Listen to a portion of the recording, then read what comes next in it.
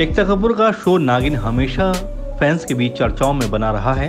अब तक नागिन के सभी सीज़न सुपरहिट रहे हैं। फ़िलहाल एकता कपूर नागिन का सातवां सीज़न लाने की प्लानिंग कर रही हैं। इसी के साथ फैंस के बीच नई नागिन का नाम सुनने के लिए बेसब्री बढ़ती जा रही है। हर कोई ये जानना चाहता है कि नई नागिन आखिर है ओ।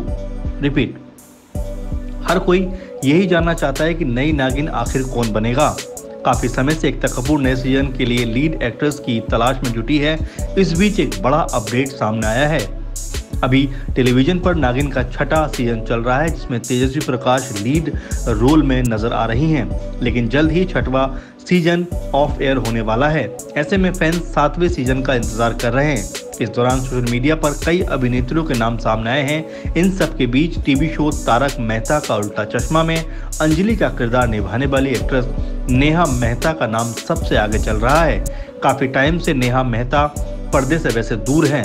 अब नेहा का एक पोस्ट सामने आया है, जिसके बाद कयास लगाए जा रहे हैं कि नेहा मेहता नागिन सेवन में नागिन की किरदार में नज़र आ सकते हैं। अगर ऐसा है तो वाकई नागिन सेवन के लिए दर्शकों का जो इंतज़ार है, वो अब और दिलचस्प होने वाला है।